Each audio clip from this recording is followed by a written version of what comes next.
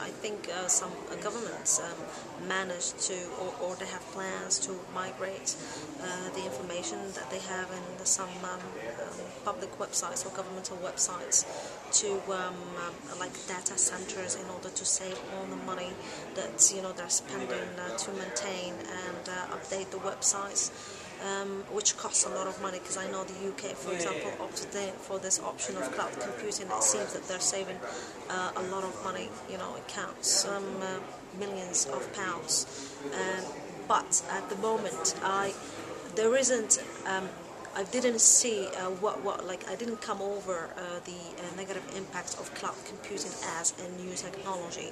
Uh, on the one hand, the benefit could be um, that it will contribute massively in um, limiting the impact on environment, you know, the impact of ICT on the environment, but the negative impacts, I'm not sure about what, what could be the case. Maybe the data centers will have, you know, some uh, drawbacks on the environment is just not known at the moment, and uh, there's still yet to be defined these negative impacts. But I can see just the positive from from you know what I was you know uh, from the information I have about uh, cloud computing.